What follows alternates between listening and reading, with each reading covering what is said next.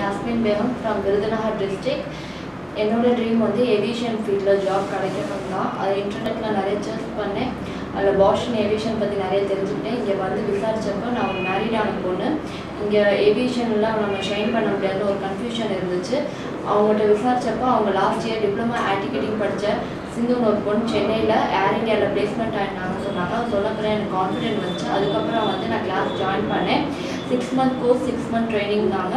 நான் class six month course படிச்சுக்கிட்டு இருக்கும் போதே ஒன் டே மதுரை ஏர்போர்ட்டுக்கு ஹைவேக்கு ப்ராக்டிக்கலாக கூட்டிகிட்டு போயிருந்தாங்க. இங்கே இருக்கிற ஸ்டாஃப்ஸ் தான் எக்ஸ்பீரியன்ஸான ஏர்லைன்ஸில் எக்ஸ்பீரியன்ஸான ஸ்டாஃப்ஸ் தான். டிப்ளமா ஆட் கிட்டிங் படிச்சுக்கிட்டு இருக்கேன். சிக்ஸ் மந்த் கோர்ஸ் படிச்சுக்கிட்டு இருக்கும்போது சார் வந்து மதுரை ஏர்போர்ட்டில் எங்களுக்கு இன்டர்வியூக்கு அரேஞ்ச் பண்ணாங்க. நான் அதில் போய் அட்டன் பண்ணி இப்போ செலக்ட் ஆகிட்டோம் இப்போ நான் ஜாப் ஜாயின் பண்ண போகிறோம் தேங்க்ஸ் டு பாஸ்ட்